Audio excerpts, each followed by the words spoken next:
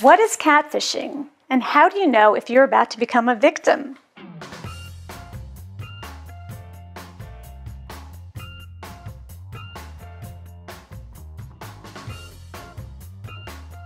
Catfishing has become a very popular term for daters, especially those watching the television show. And that's when someone creates a completely different persona of themselves.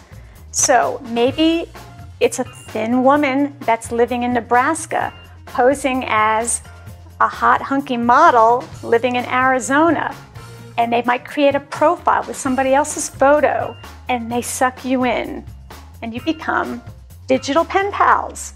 Nothing but a digital pen pal. Sometimes you might hear a voice, but you never ever meet the person who's catfishing you. You feel like you're in a relationship, but at the end of the day, you're in love with love and the possibilities of this person who you're never ever meeting. So, how do you know if you're dating a catfish?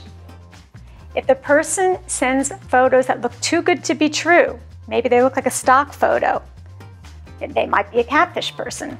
If so, take that photo, put it into Google image reverse search, and look and see does that photo match the name of your new digital sweetheart?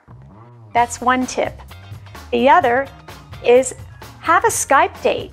Ask them to Skype in real time and set up a romantic little Skype date if they live out of town. If they seem to be a little technically challenged and they can't quite figure out how to do a video date, chances are they're hiding something and they really don't want to meet you. Another tip if someone is making up stories of getting together and canceling and making dates and canceling, and giving excuses as medical, family reasons, work reasons. These reasons and these excuses can go on for years and years and years. You might think you're in love with someone who's going to marry you, but he has no intentions of ever meeting you. So at the end of the digital day, trust your intuition, take your time, and make sure you have an opportunity to meet this person in real life if you're going to develop a relationship. Hi, I'm Julie Spira, and you're watching Your Tango's Quickies. Connect with me at yourtango.com slash experts slash dating expert.